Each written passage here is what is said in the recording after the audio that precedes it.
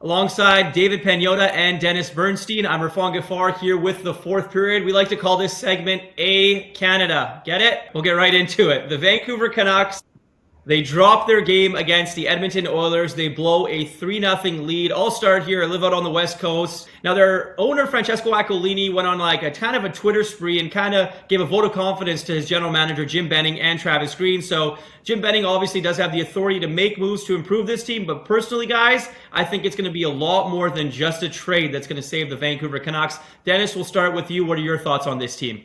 Too much change off in the offseason, just too many guys going out of a playoff team. I think that's the challenge.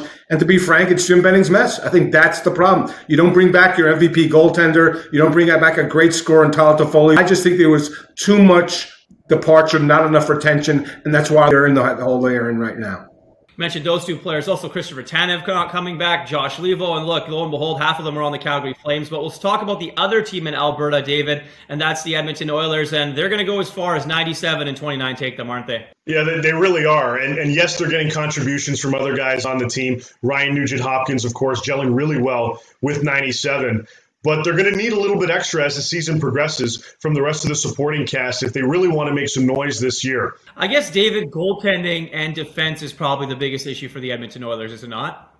Yeah, it, it really is. I mean, you know, Mikko Koskinen and Mike Smith have been solid, but can they be the goalies that are going to steal you games down the stretch and into the postseason if McDavid and Draisaitl aren't on their game or are being contained on certain nights? It's going to be a, a, a real quest to see if they can do that.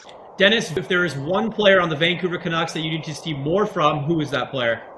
I'll give you a daily double, or I'll give you two players the two goaltenders. Their save percentage is both below 900. That's not acceptable. They got to get to 910, 915. I know the team hasn't been playing great in front of them, but sometimes they got to start stealing games. When your team really isn't doing well and you want to tread water, you need a goalie saving games. They're just not doing it right now. So both Thatcher Demko and Braden Holtby really need to do a little bit better for this team to get back in the race. It's the Canucks and the Oilers on Thursday night from Vancouver.